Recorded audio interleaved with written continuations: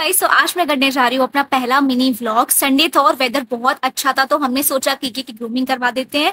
और यहाँ पे हम लोग पहुँच चुके थे शॉप पे कीकी की फ़र्स्ट ग्रूमिंग थी तो वो भी बहुत ज़्यादा कंफ्यूज थी वहाँ पे हमें डक्स भी दिखी और वो इतनी ज़्यादा क्यूट थी। फ़ोटोज़ वीडियोज़ तो बिल्कुल भी अलाउड नहीं थे, लेकिन हम तब भी वीडियोज़ बना रहे थे। और जब मैं वहाँ पे फिशेस के साथ खेल रही थी, शुभम एक ही गाना गा रहा था, देखो इन्हें, ये है ओसे की बूंदे। यहाँ पे कीकी की बातिंग हो चुकी थी, लेकिन कटिंग अभी भी बाकी थी और इस वजह से हम लोग इतना थक चुके थे। हम यही सोच रहे थे कब हमारी नई नमीली दुल्हन आएगी। और फाइनली एक घंटे के बाद हमारी दुल्हन रेडी हो चुकी है। इतनी क्यूट लग रही थी कीकी इतनी क्यूट लग रही थी। आप लोग बताओ कमेंट सेक्शन में कितनी ज़्यादा क्यूट लग उसके बाद हमने इसके लिए थोड़ी सी ट्रीट्स भी ली, लेकिन हमें भी बहुत ज़्यादा भूख लग रही थी तो हम लोगों ने कीकी को घर पे छोड़ा और सीधे कुछ खाने के लिए गए। वहाँ पे हम लोगों ने ड्रम्स ऑफ़ हेवन ऑर्डर करा और साथ में डाइट घर जाके मम्मी को किकी को दिखाया, लेकिन मम्मी को कटिंग पसंद नहीं आई। उनको लग रहा था कि इसकी मूछ बहुत छोटी कर दी, लेकिन मुझे तो बहुत क्यूट लग रही थी।